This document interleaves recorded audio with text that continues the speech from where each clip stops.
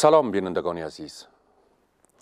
سفر صدر پاکستان خاقان عباسی به کابل چه نتایجی در پی داشته است؟ افغانستان همیشه به سیاست های پاکستان با شک و تردید نگاه کرده است. آیا این بار گفتگوهای صدر پاکستان با رئیس جمهور و رئیس اجرای افغانستان توانسته است که یخهای بی اعتمادی در میان دو دولت را آب کند؟ پاکستان متهم به حمایت طالبان است. آیا تمام مشکل افغانستان به پاکستان برمیگردد؟ آیا افغانستان می تواند بدون همکاری پاکستان به صلح با طالبان دست یابد؟ چرا پاکستان و افغانستان هیچ گاهی نتوانستند تا به مانند دو کشور همسایه رابطه دوستانه ای داشته باشند در حالی که این دو کشور دارای مشترکات بزرگ تاریخی فرهنگی و دینی اند؟ در برنامه این هفته این مسائل را با مهمانان خود در میان می‌گذاریم. جناب دکتر فرامرز تمنا رئیس مرکز مطالعات استراتژیک وزارت امور خارجه جناب نصرالله استانگزی آگاه روابط بین و استاد دانشگاه کابل جناب دکتر جعفر مهدوی عضو مجلس نمایندگان و جناب فاروق مجرو. عضو مجلس نمایندگان در بحث این هفته اشتراک دارند و میمانان خود را خوش آمدید می‌گوییم. جناب تمنا این سفر صدر اعظم پاکستان که در رأس یک حیات بلندپایه به افغانستان آمده بود به نظر شما به چی نتایجی رسید؟ به نام خدا سلام خدمت شما بینندگان ارجمند و حضار میز گرد اجازه بدین یک پیش درآمد داشته باشم که چرا این سفر انجام شد. بعد از تحولات جدیدی که در روابط میان ایالات متحده آمریکا و پاکستان ایجاد شد پاکستانیا علاقمند به مسائل افغانستان بیشتر شدند و خود نزدیکتر کردن به دیدگاه های افغانستان در خصوص مسائل صلح و امنیت. این زمینی شد که هیئت تحت رهبری معینان وزارت خارجه دو کشور چند نشست داشته باشند هم در کابل و هم در اسلام آباد و این زمین ساز سفر آقای خاقان عباسی و هیئت آل رتبه همراهشان به کابل بود. او دیدگاه متسلب و دگم و خلال ناپذیر قبلی پاکستان قبل از تغییر روابطشان با ایالات متحده آمریکا دگرگون شده.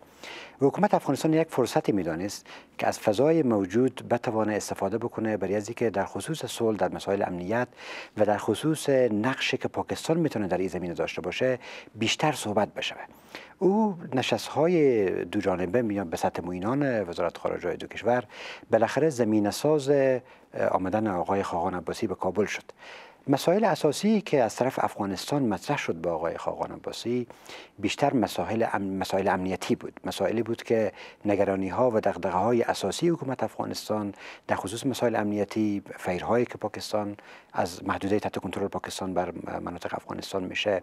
بحث طالبان و تشویق و ترغیب از اونها برای نشستن به مذاکره و سایر مسائل مطرح شد. به ویژه ای که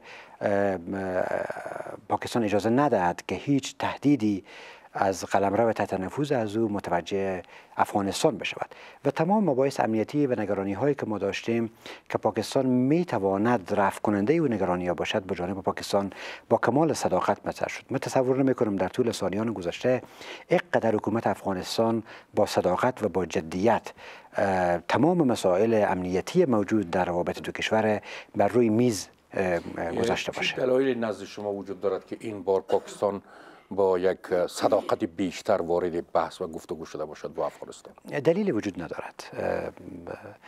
زمان نشان خواهد داد که چقدر پاکستان صادق است.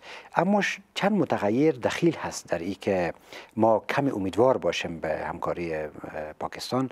اول شرایط بین المللی پاکستان است و رابطه پاکستان با ایالات متحده آمریکا به عنوان یکی از کشورهایی که در طول 60 و چند سال گذشته تاثیر بسیار زیادی بر تکوین روندهای سیاسی اقتصادی پاکستان داشته. فشارهای ایالات متحده آمریکا نمیشه نادیده گرفت. دوم وضعیت اقتصادی پاکستان به عنوان یک متغیر متداخل بسیار قوی و نیازی که پاکستان دارد به یک افغانستان امن برای دسترسی به منابع انرژی آسیای میانه. این دو متغیر بسیار تاثیرگذار است بر ای که پاکستان اگر چن اگر نگوییم صداقت کامل اما یک نگاه همکاری جویانه با پاکستان داشته باشه. اما این یک روند است و در روندها ارزیابی چنین نشست ها و دید و بازدیدهای را نمیشه در یک برهه زمانی کوتاه مدت زمان نشان خواهد داد. دکتر تمنا. بله. استاد استانکزی هیچ وقتی مناسبات این دو کشور خوب نبوده. یعنی افغانستان و پاکستان. همیشه مقامات دولتی در افغانستان پاکستان متهم می‌کنن که یک سیاست قابل اعتماد نداره. فکر می‌کنم چرا این دو کشور نمی‌توانند دست کم در موضوعاتی که هر دویش از اون رنج می‌برن؟ اینا سیاست های بسیار قابل اعتماد پیش کنن. شما این سفر چگونه ارزیابی می‌کنین با این پس منظر؟ به نام خدا با تقدیم سلام. فکر می‌کنم که این موضوع از چند بود باید مطالعه شود اول بحث تاریخیش است. بحث تاریخیش است که حتی برمیگرده به دوره های قبل از استقلال یا تاسیس پاکستان. به ایمانا که جریان قرن 19 شما می‌بینید که هند بریتانوی تقابل پیدا می‌کنه با دو امپراتوری دیگه در منطقه که امپراتوری فرانسه است و امپراتوری روس هست و ما به این تقابل درگیر میشیم و معمولا تهدید میشیم از سرحدات جنوبی و شرقی افغانستان بیشتر.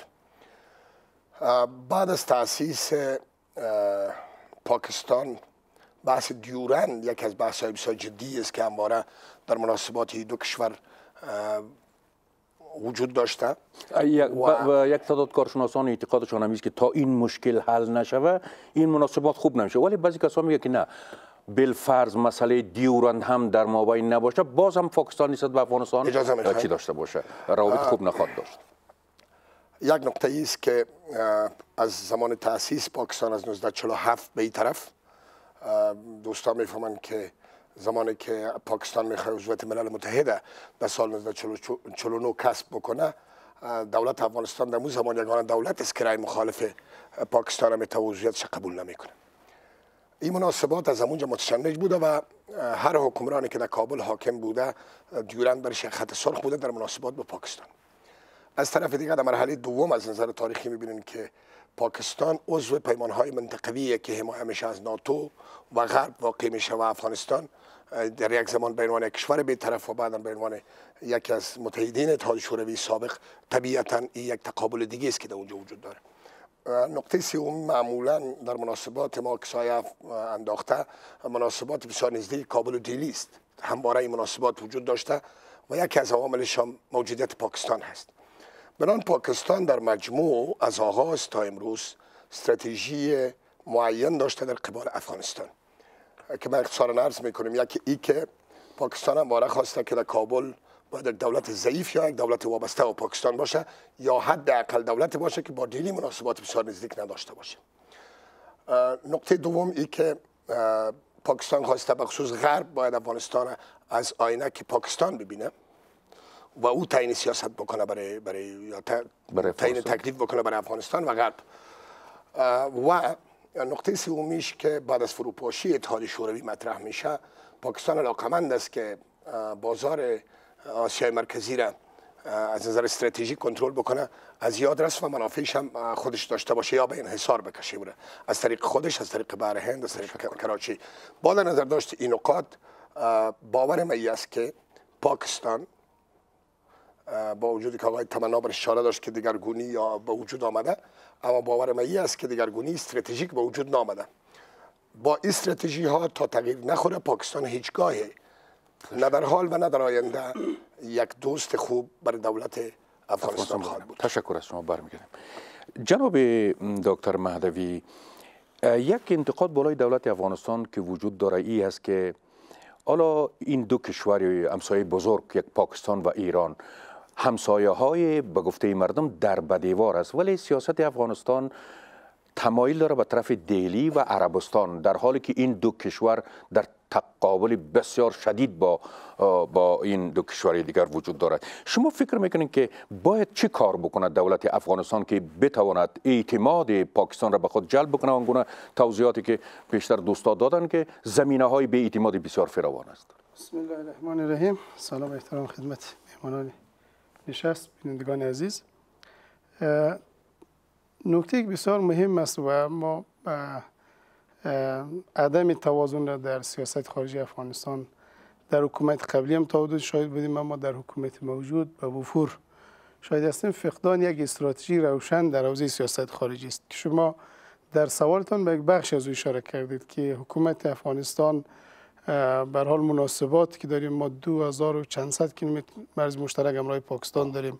یک هزار کیلومتر مرز مشترک همراه ایران داریم و دو کشور در افغانستان صاحب نفوذ فرهنگی و سیاسی و امنیتی گسترده است.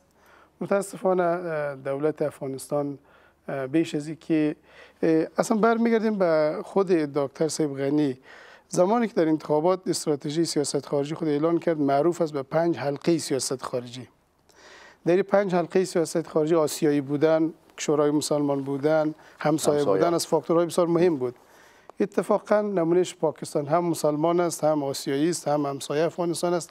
همونطور که سانگزای صاحب اشاره کرد یک آدرس است که در از زمان تاسیس تقریبا آب خوش از گلوی افغانستان پایین نرفته در پاکستان و متاسفانه تصور بری بود با توجه به شعارهای آقای دکتر غنی که حداقل حکومت شاید بتانه یک یک قدم جدیتر نسبت به حکومت های قبلی برای حل بنیادی موضوعات مشکلات برداره. اما ما شاید بودیم که چنین نشد. و می‌خوایم بگوییم که چند تا مصادیق مشخصی که آقای غنی اعلان کرد و خلاف از او عمل کرد. اولین بحثی دکتر صاحب غنی بود که ما بیش از چهار دست در یک جنگ اعلان نشده با پاکستان قرار داریم. ما نگاه خود تغییر میتیم بعد ازی با طالبان مذاکره نمی کنیم برای تامین صلح همراه پاکستان مذاکره می‌کنیم. بعد از مدتی در یک چرخشی 180 درجه گفت نه جنگ در افغانستان جنگ بین الافغانی است. و باید پروسه صلح برابری افغان ها باشه. ما با طالبان سر میز مذاکره میشینیم این دو قصه. اما در ارتباط با که به هند نزدیک شد یا با عربستان مشکل یک حکومتی که فاقد مشروعیت به لحاظ قانون اساسی است. مشکل یک حکومتی که مشروعیت مردمی نداره است که از منبعی که مشروعیت گرفته و با حمایت تو منبع فعلا حکومت می‌کنه مجبور مطابق استراتژی او عمل بکنه. و حزب دموکرات و تیم اوباما جان کری این حکومت سر کار آورد. و این حکومت برای دوام و بقای خود مجبوره که تابع استراتژی سیاست خارجی امریکا باشه. یاد ما نرود فشاری که سر پاکستان از آدرس امریکا آمده در نتیجه قوت دیپلماسی افغانستان نبوده. این در نتیجه استراتژی جدید امنیت ملی تیم ترامپ بوده به ارتباط آسیای جنوب شرقی که در اونجا مهار چین و متحدان چین در محور استراتژی است و پاکستان مهمترین متحد چین در حوزه آسیای جنوب شرقی است.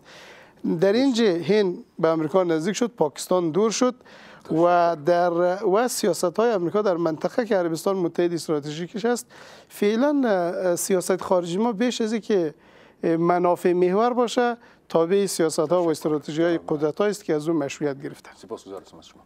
جناب مجرو شما هم فکر می‌کنین که این باز شدن این مذاکرات در نتیجه سیاست های امنیتی امریکا در رابطه با پاکستان و جنوب آسیا است؟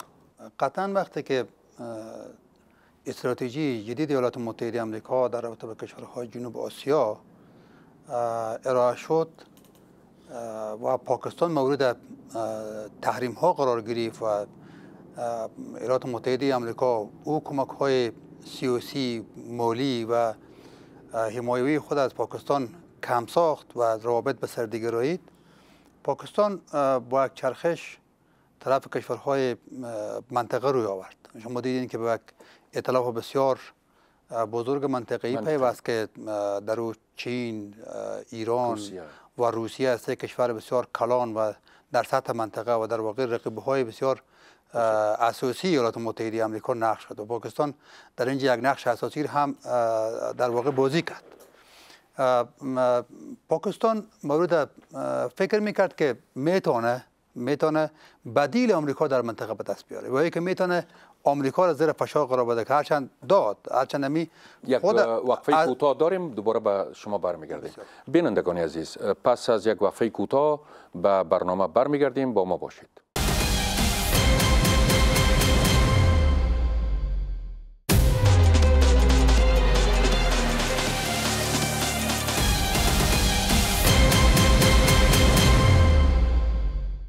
جناب مجروب بفرمایید شما صحبت خود تمام کنید. تشکر.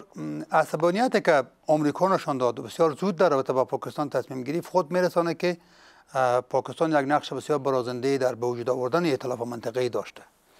بنابراین پاکستان از یک طرف آمریکا را زیر فشار قرار داد که بدیل های هست در سطح منطقه. از جانبی هم بدیل ها نتونست بدیلی برای آمریکا باشه. هیچ کشور همچون ایالات متحده آمریکا برای پاکستان مهم نبود و نمی‌تونست جای از او بگیره و کمک بکنه پاکستان در شرایط فعلی. وضع تحریم ها از جانب ایالات متحده آمریکا بر پاکستان و استراتژی جدید آمریکا پاکستان زیر فشار آورد و پاکستان مجبور شد که نوعی خاطر حال افغانستان داشته باشه. و شما دیدیم که در این اواخر پاکستان یک اندازه نرم شد در رابطه قضایای افغانستان و باب دوستی بیشتر باز کرد و تا بالاخره نتیجه شد که صدر اعظم پاکستان با یک هیئت عالی رتبه افغانستان بیاید اما یک مطلب نادیده نباید گرفت. ما چیزی که ما متوجه شدم او این است که همزمان با آمدن صدر اعظم پاکستان به افغانستان نوار مرز افغانستان مورد حمله قرار می‌گیره. برمیگردیم به این بحث هم برمیگردیم. در دوری بعدی برنامه. تشکر از شما. سپاسگزار هستیم جناب تمنا همیشه حالا که بحث مذاکرات بین الافغانی مطرح و دولت افغانستان علاقه داره که خود این مذاکرات رهبری کنه و مدیریت بکنه همیشه یک تقاضا از پاکستان وجود داشته که پاکستان باید طالبان را مجبور بکنه که با پشت میز مذاکره بیاید شما فکر می‌کنین که آیا اول طالبان به چنین چیزی تن میتن که به سخن پاکستان بیان با دولت افغانستان مذاکره بکنن و دومی که آیا پاکستان واقعا این ظرفیت را دارد که طالبان را به پشت میز مذاکره با دولت افغانستان بکشاند؟ بعد از 1947 که پاکستان به هدف تشکیل یک حکومت اسلامی تأسیس شد تا کنون که بیش از هفتاد سال میگذره این رویای اسلامگرایان در پاکستان تحقق پیدا نکرد. الا دوران کوتاه در زمان جنرال ضیاءالحق پتانسیل و ظرفیتی که در پاکستان عامل شکلگیری پاکستان شد بیکار ماند. بزرگترین تصمیمی که سیاستگزاران در پاکستان گرفتند ای بود که ما چه کنیم که از شر بنیادگرایان افراطی یا مؤسسین این نظام ما خلاص بشویم. بهترین کار صدور افرادگرایی بنیادگرایی و پتانسیل گروه های افرادگرا به خارج از مرز پاکستان بود. در او زمان افغانستان و کشمیر و جامو این مورد بحث بود. لذا به وجود آوردن این جنبش های افرادگرایی که بعدا گرایش های سیاسی پیدا کردن تی در زمان جنگ با اتحاد جمهوری شوروی و چی بعدا در چارچوب طالبان در راستای او فرافکنی قدرت و ظرفیت بنیادگران افرادی داخل پاکستان هست.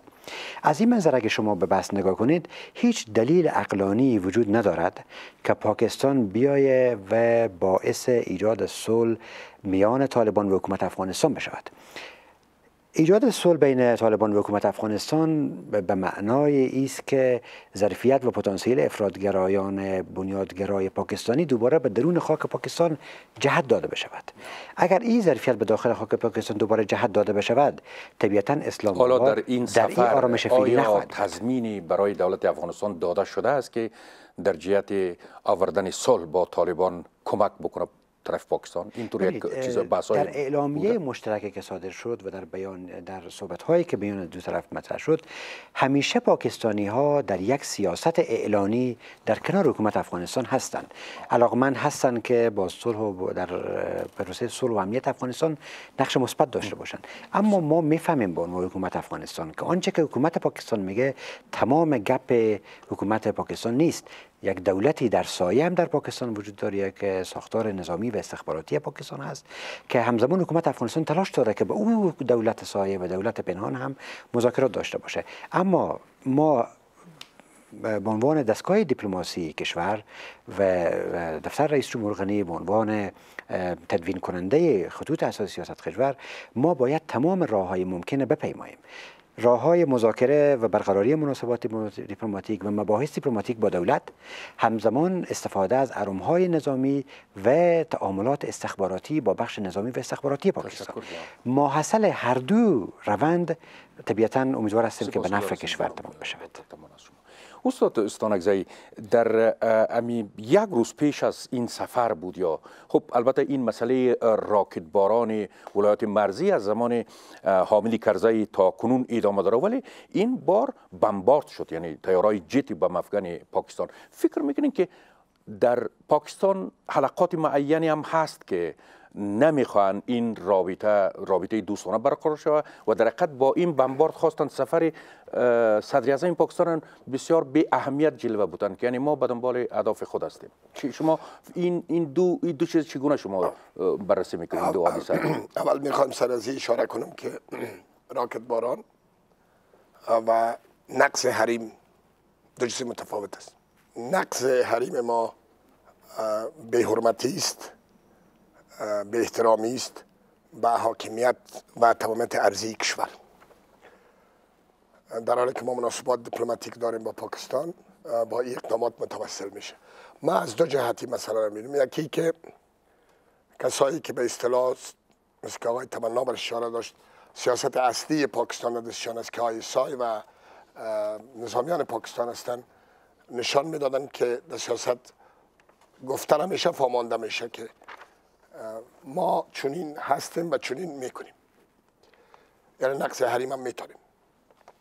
از طرف دیگه مثل که شما برای اشاره داشتین اون گروه ها این ثابت می‌سازه که کسی که برای شما میایه صحبت های اصلی را نداره. تصمیم گیرنده اصلی نیست. بله. نظامان پاکستان میگن با در نظر داشته از او. از نظر مسائل تکنیکی و روابط دو کشور یک سلسله دستاوردها داشتی سفر. مثلا اینکه تعهد شد که خط آهن از چمن تا کندهار می یا از مسائل اقتصادی. و امثال از یا تبادل زندانیان و امثالش. این مسائل تکنیکی است که من فکر می‌کنم که صحبت های اصلی و استراتژیکی که باید صورت می گرفت و نتایج استراتژیک می داشت متاسفانه سفر نداشت. و نبایدم توقع می داشت که در یک سفر تمام مسائل حل شود.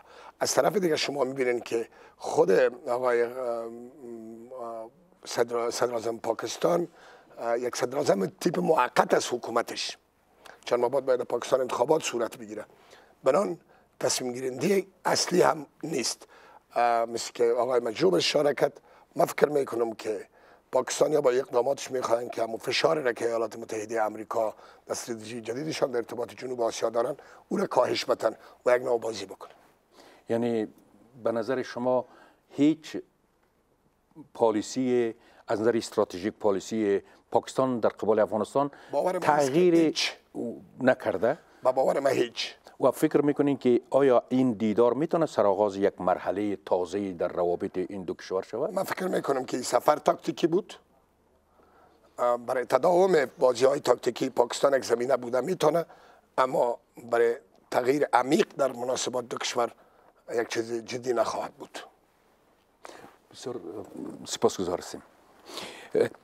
جناب مهدوی می‌خواستم بگم که یک مسئله که حالا این مسئله تروریسم یا حراس افغانی یک مشکل از جهان که بگذاریم یک مشکل منطقوی است. خود پاکستان هم حالا با این مشکل روبرو است. طرف پاکستان هم علاقمندی نشان داده که در این زمینه با افغانستان همکاری میگه فکر میکن پاکستان چقدر می‌تونه نقش اساسی در این امر داشته باشه؟ یک نقش سازنده داشته باشد. خب البته باید سوال واضح باشه که مراد از پاکستان حکومت پاکستان یا بله حکومت یا اردوی پاکستان یا شبکه از مدارس مذهبی که در پاکستان وجود داره. به حال اینا هست های قدرت سیاسی اجتماعی و امنیتی جداگانه است در پاکستان که گاهن سیاست های مستقل می‌گیره و حتی گاهن سیاست های اینها بین خودشون در تناقض و تعارض است اگر مراد شما حکومت پاکستان باشه فعلا در شرایط موجود آقای خاقان عباسی که به کابل آمده بود در بدترین وضعیت ها ولا سیاسی بسر می‌بره. نفس حضور نخست وزیری که حزب از دچار یک بحران است و ان قریب که قدرت در پاکستان از دست میته در یک وضعیت بدی صورت گرفت و شما مطمئن باشید که این سفر شاید ما می‌تونیم بگیم که اگر بسیار بدبین نباشیم تاثیر بسیار اندک در بهبود وضعیت افغانستان و پاکستان خواهد داشت. با در نظر داشت این واقعیت که مشکل افغانستان پاکستان یک مشکل تاریخی است. کوتاه داریم برمیگردیم به شما. بینندگانی عزیز پس از یک وقفه کوتاه دوباره به برنامه برمیگردیم. با ما باشید.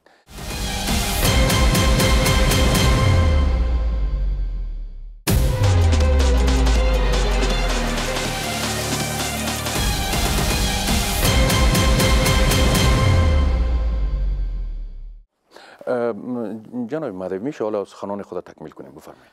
همونطور که عرض کردم مشکل افغانستان و پاکستان یک مشکل تاریخی است. شما تا زمانی که مشکل تاریخی به این دو کشور حل نشود و یک حکومت با مشروعیت وسیع مردمی و توانمند بلاز دستگاه دیپلماسی با اعتماد به نفس کامل نه و این مشکلات تاریخی به این دو کشور حل نکنه. فکر می‌کنین که چرا صدر اعظم پاکستان با بعضی از رهبران و مقامات تنظیم های جهادی هم دیدار کرد. حتی آنهایی که در دستگاه دولت افغانستان جایگاهی رسمی ندارند. فکر می‌کنین در پشت سری این مذاکرات چی هدف دنبال می‌کرده پاکستان؟ خب برداشت من است که طرف پاکستانی با این ملاقات ها می‌خواد نشان بده به حکومت افغانستان که خودت او مشروعیت لازم را برای عقد بسیاری از صحبت ها و قراردادها و مطرح کردن بحث های کلان نداری. چون حکومت موجود خب نه بلاز بحران مشروعیتی که امرایش مواجه است در قانون اساسی مردمی. این صحبت نشان است که این جایگاه و مشروعیت را نداره حکومت افغانستان. نکته بعدی است که طالبان هم دقیقا به می دو نکته اشاره کرده. یکی ای که طالبان مطرح کرده که اونا حاضر است امرای امریکایی بشینه و سری موضوع صلح و آینده افغانستان بحث بکنه پیامد این بحث است که تصمیم گیرنده هستی در افغانستان امریکایی هستی بر هیچ کس پوشیده نیست.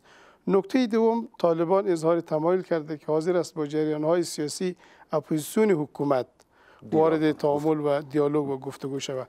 موضوع بحث نشان میده که عملا هم از دید حکومت پاکستان هم از دید طالبان و هم از دید کشورهای منطقه حکومت موجود ظرفیت و مشروعیت لازم را برای مطرح کردن بحث های صلح پایدار در افغانستان نداره و یقینا باید طرف اصلی امریکایی است. یک طرف دیگه جریان های سیاسی اپوزیسیون است. تشکر.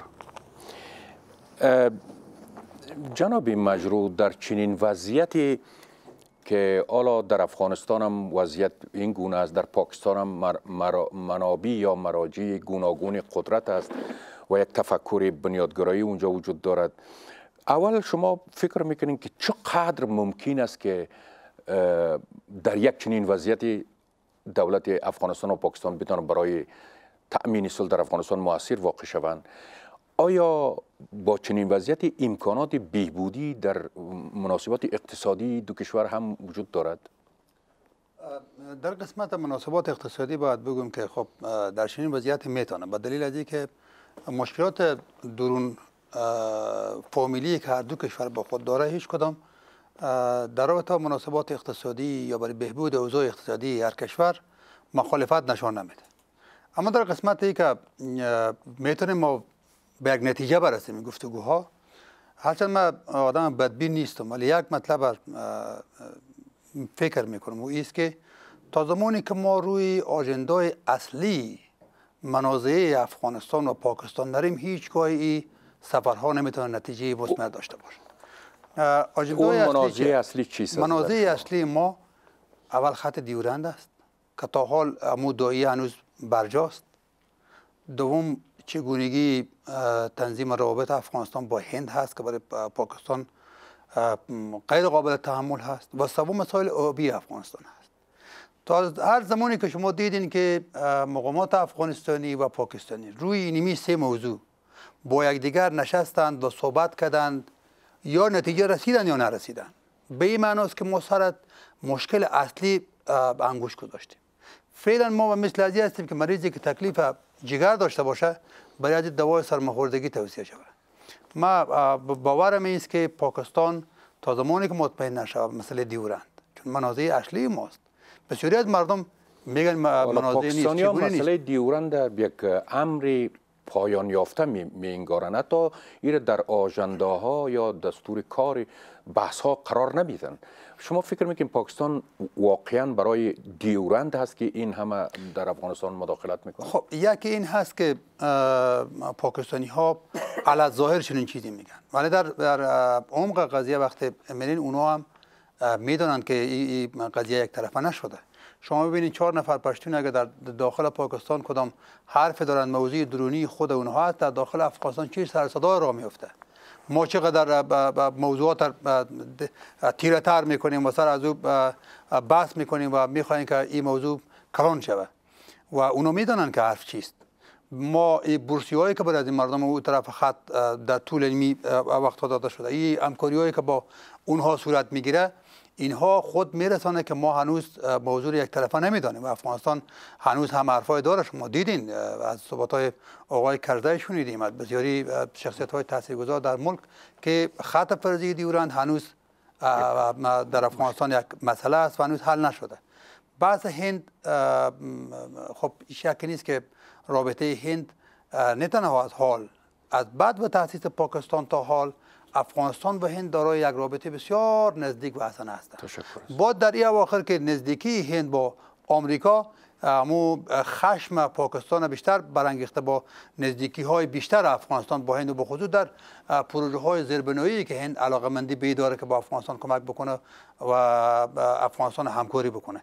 با این توضیحاتی که جناب مجروح شما ارائه کردین با وضعیتی که پاکستان داره اینجا به نظر شما این دولت افغانستان چگونه پالیسی باید داشته باشد که این مشکل از سر رای خود پس بکنه؟ در هر حال افغانستان ناچار و ناگزیر است که با یک کشور بزرگی که همسایش است رابطه دوستانه داشته باشه. به نظر ما شما باید دولت ما چگونه پالیسی هایی را روی دست بگیرد؟ ببینید فقدان یک استراتژی مدون معقول و حساب شده در افغانستان همیشه برای ما مشکل زا بود تمام رهبرانی که در می, تنها ما بگیم دکتر اشرف غنی حکومت وحدت ملی قبل از آقای کرزی قبل از او برین تا تا آخر اینها همیشه کوشش کردن رو سیاست های روزگذران با پاکستان داشتن و سر موضوعات اصلی نرفتن. همیشه به طور سمبولیک صحبت های صورت گرفته که دو کشور مسلمان همسایه دارای مشترکات بسیار زیاد دینی فرهنگی مذهبی اجتماعی و امثال هم ولی هیچ افغانستان سر مورد اصلی پاکستان سر پاکستان صدا نزده که بیایم بشینیم موضوع رو حل بکنیم. در حالی که ما می‌تونیم با توجه به امکانات جهانی که ما داریم که تا زمانی که حکومت افغانستان روی رفع مشکل مراجعه نکنه از طریق مجروهای جهانی از طریق مجروهای بین المللی که منابع معتبر هستند و یا مستقیم با پاکستان وارد گفتگو نشود این مشکل افغانستان همچنان بار خود جناب دکتر تمنا می‌خوام این سوال با شما هم در میان بگذارم. از همین پاکستان از یکی از سیاسیونی از اینا یک جمله جای خوانده بودم که گفته بود که افغانستان هیچ وقت دیپلماتی با دماغ سرد ندارد. یعنی سیاست افغانستان همیشه سیاست آمیخته با هیجانات بوده و این چیزا. چرا افغانستان نمی‌خواهد این موضوع اساسی را که با پاکستان دارد حل کنه در مراجع جهانی این خط مثلا این مسئله دیورند را. اگر برحق است او یا افغانستان که این مسئله باید حل شود این گونه این گونه که نمیشه که همیشه ادامه داد. و همیشه سیاسیون ما می‌گفت که زمان او فرا نرسیده زمانش فرا نرسیده. این زمان چی وقت فرا می‌رسه که این مسئله رو مطرح کنه من اگر در وزارت امور خارجه نمی بودم شاید به این سوال شما به گونه دیگر پاسخ می‌دادم. اما یک سوالی از جناب آقای مجروح کردین که برمیگرده به وزارت خارجه که چه باید چه سیاستی در قبال پاکستان ما داشته باشیم. به اشاره می‌کنم بعد به سوال شما پس میایم ما سه سناریو در تعامل خود با پاکستان داریم. جدا از این سه سناریو هیچ سناریوی دیگری وجود نداره. همسایه ماست کشوری که تعاملات فراوان داریم. ما ما جغرافیا رو نمی‌توانیم تغییر بدهیم. لذا این سناریو سناریوی اول سناریوی تعامل منفی با پاکستان است. ما بیایم تعامل منفی داشته باشیم اما با تعارض باشد. سناریوی دوم سناریوی تعامل مثبت با پاکستان است که ما هر چه که پاکستان می‌گویه تعامل مثبت داشته باشیم و تمکین بکنیم. این سناریو سناریوی تعامل منفی در توان نظامی اقتصادی و سیاسی افغانستان نیست که ما در تعارض و ستیز دائمی با پاکستان باشیم. سناریوی تعامل مثبت از افغانستان یک بازیگر مطیع و فرودست می‌سازه. این هم به منافع ملی کشور نیست. سناریوی پریفبل یا ترجیحی فراروی سیاست خارجی افغانستان سناریوی انتخاب اقلانی است. سناریوی انتخاب اقلانی می‌گوید که شما اگر با پاکستان در مسائل امنیتی مشکل دارین در مسائل اقتصادی همکاری خود ادامه بدهید. تشکر دکتر یک وقفه داریم برمیگردیم. بینندگانی عزیز پس از یک وقفه کوتاه دوباره به برنامه برمیگردیم. با ما باشید.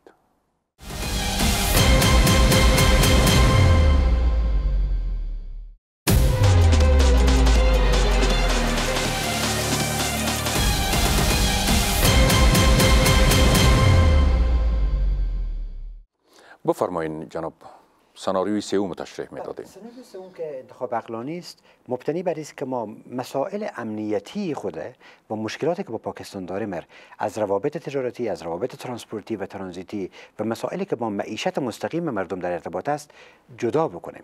یعنی ما از فاز امنیتی در تعامل خود با پاکستان کم کم وارد فاز روابط اقتصادی به پاکستان بشیم به دلیل که سیاست خارجی افغانستان به دنبال ایجاد یک جامعه امن اقتصاد محور است. دستیابی به امنیت از دریچه همکاری های اقتصادی. اما در مسئله دیورند چند مسئله دیگر دخیل است.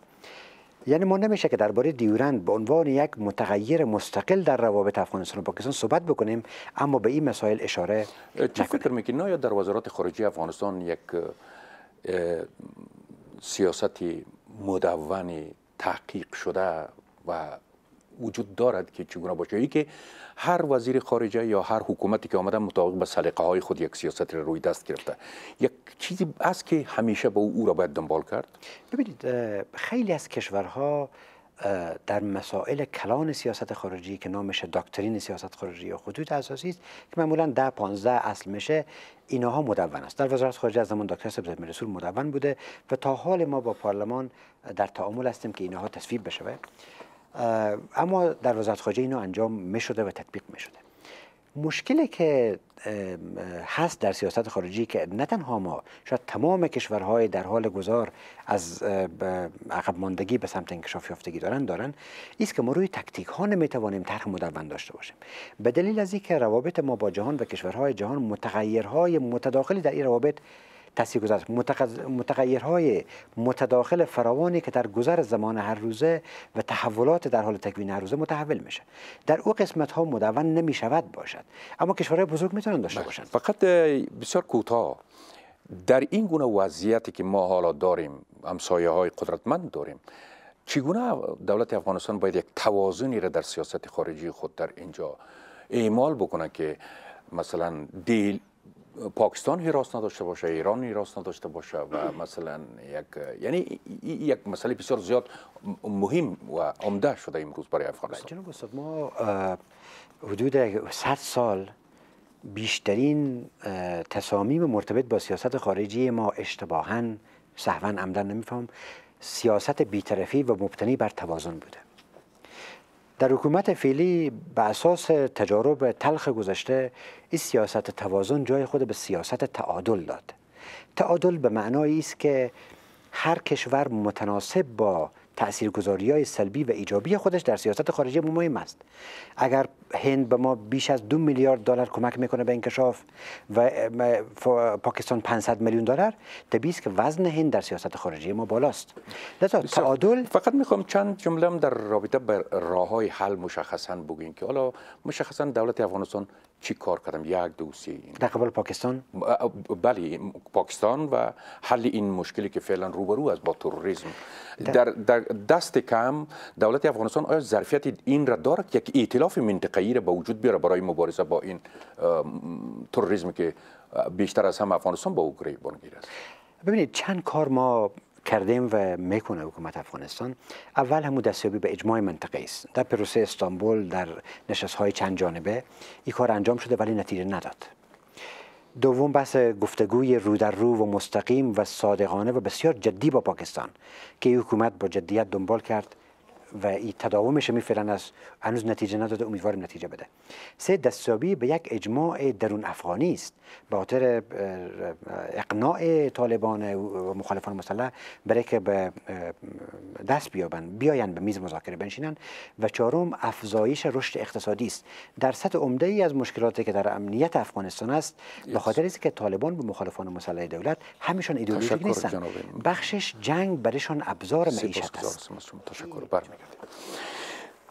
استاد شما چی چه پیشنهادهای مشخص دارین که راه های حل از راه برون رفت از این موزل بزرگ چیست؟ اجازه بدین که یک تبصره داشته باشم به مسابقاتتان که تروریزم پاکستان هم تهدید می‌کنه باور من است که به کنار انواع تروریزم که وجود داره یکی هم تروریزم دولتی است در مناسبات بینالمللی امروز در دنیا دولی وجود داره که بقایش و حفظ قدرتش در تداوم تروریسم به افراطیت می‌بینه. متاسفانه ما با دو همسایه که مواجه استیم ایران و پاکستان هر دوی خصوصیت داره. از پاکستان و ایران اگر بحث تروریسم دولتی ایشان بگیرین ای قدرت سقوط می‌کنه. با وجود خودشان میگه ما تروریست نیستیم. و مشکلشان هم نیست که دیگه در نهایت خود این دولت ها قربانی این افراطیت نخواهد شد. ای که خواهد شد یا نخواهد شد پیش از وقت خواهد بود. اما اگر از خصوصیات این دو دولت تروریسم دولتی را بکشین دیگه بقا ندارن. تعدیدی که مثلا پاکستان هنده می‌کنه یا ایران کشور خلیج می‌کنه بر این نیروهای تروریستی است الا آفریقا. مشخصا که چه باید شود؟ ما باید چه بکنیم؟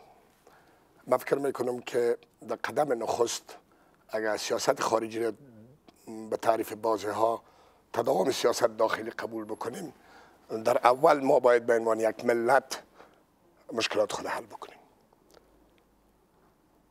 و بریم وارد مناسبات بین شویم. ما منافع گروپی کوچک خود زبانی و قومی و نژادی و چی چی خود کنار بگذاریم.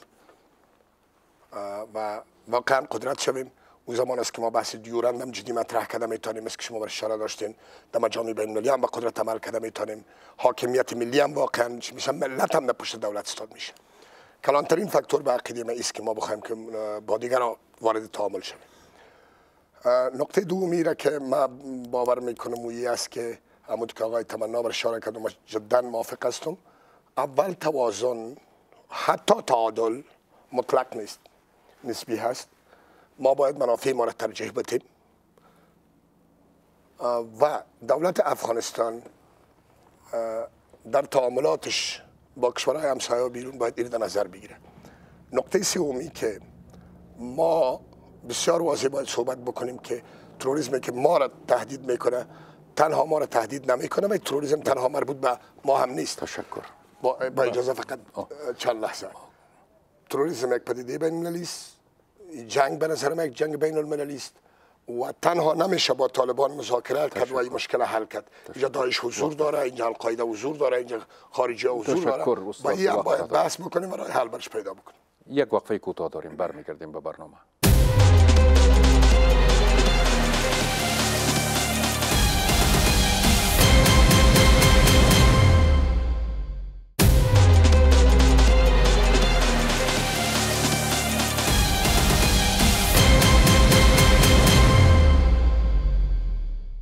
جناب مهدوی به قسمت های آخری برنامه رسیدیم. با شما و جناب مجروح پنج دقیقه وقت داریم. می‌خوام بگم که شما چی پیشنهاد دارین که چی شود؟ برداشت است که یکی از دلایلی که ناامنی در افغانستان تشدید شده و امروز طالبان بر 50 فیصد خاک افغانستان به طور مستقیم اشراف داره و بر 30 فیصد تاثیرگذار هست. دلیلش هم است که ما با یک حکومت ضعیف مواجه هستیم. یک حکومتی که دچار بحران مشروعیت و علاوه بر بحران مشروعیت این حکومت یک آجندای تصفیه حساب قومی را هم در پیش گرفته. یعنی امروز برای حکومت آقای غنی شورای امنیت ملی ریاست عمومی امنیت ملی بیش از که پرداختن به یک صلح پایدار برای افغانستان یا ای که تنظیم یک مناسبات منطقی مبتنی بر منافع ملی با پاکستان در اولویت باشه در اولویت تمام آجندای شورای امنیت ملی و ریاست عمومی امنیت ملی و پیسای اپراتیفی که نامصرف می‌کنه است که برای مخالفین و منتقدین خود در داخل افغانستان دوسیه سازی کنه و یکی در درون جناهای سیاسی چطور یک یک مجموعه را با پیسای اپراتیفی علیه یک جنای دیگه بسیج بکنه. اگر همین ظرفیت برداشت است ده فیصدش سر سیاست خارجی و دستگاه سیاست خارجی به مصرف می‌رسید امروز وضعیت افغانستان بهتر خواهد بود. من ضمن صحبت های فقط می‌خوام مشخصا درباره این مناسبات دو کشور به نظر شما چی نقطه های بسیار مهم است که عملی شود؟ نقطه بسیار مهم اول است که در صحبت های جناب آقای سنگزی بود حکومت افغانستان به عنوان یک اجندای داخلی مهم و اساسی اول یک اجماع ملی ایجاد بکنه. اجماع ملی بدون یک اراده و رویه ملی و سهم دادن همه مجموعه سیاسی و اقوام افغانستان به وجود نمیاد. یک جمله می‌خوایم بگم؟ وقتی شما میگید که خط مرزی افغانستان تا به اتک است یعنی دو سوم خاک پاکستان رو شما ادعا کردید. خط مرزی دیورند هم به رسمیت نمی‌شناسید. پس شما فکر می‌کنید که باید این اختلافات تاریخی حل شود؟ بس است وقتی ما دو سوم خاک پاکستان ادعا می‌کنیم چطور می‌تونیم توقع داشته باشیم که پاکستان امروز ما یک روی دوستانه و مهربانانه داشته باشه؟ سپاسگزار هستیم. جناب مجرو سخنهای آخر شما را میشنویم در این رابطه که بالاخره چگونه میشه که صلح ایجاد شود در مابین این دو کشور تفاهم ایجاد شود و ما به صلح برسیم؟